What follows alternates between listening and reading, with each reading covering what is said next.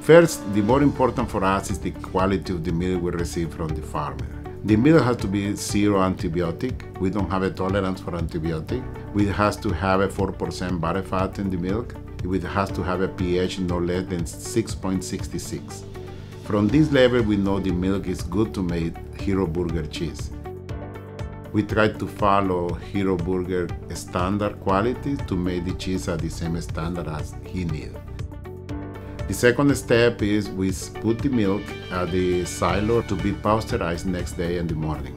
We pasteurize the milk to kill all the pathogenous bacteria and then we add the culture bacteria to make sure the pH consistent with drop to find the flavor and the aroma we're looking for.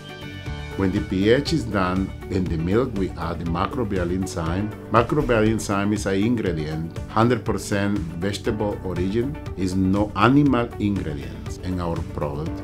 And after that, we wait in the coagulation of the milk to cut it. We cut it and then we start stirring to split the solids from the liquid. After that, we send it to the draining table to find the, the last texture, to get the last texture in the curd to be good for us to put the salt.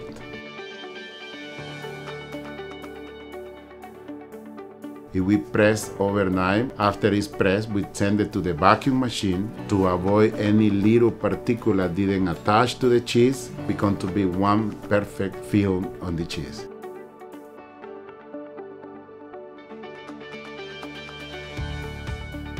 After that, we engine for 30 days and we cut in 5 pounds or we slices. And after, we send it to Hero Burger with our truck. Oh yes, I eat Hero Burger. I like it.